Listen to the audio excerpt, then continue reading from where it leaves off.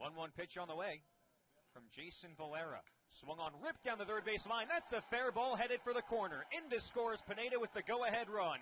On his way to third is Luis Encarnacion. He's getting waved in, and he's going to come home with the game's third run. Sliding into second base and called out is Alex Holderbach. He's frustrated with the call. He took a hard turn at third, didn't think about going to third base, but took a hard turn to third and went sliding back in at second. Did not get in there in time on the relay back from Wagner LaGrange. However, the Valley Cats get just what they needed. Both of the runners on base score, and Tri City leads 3 to 1.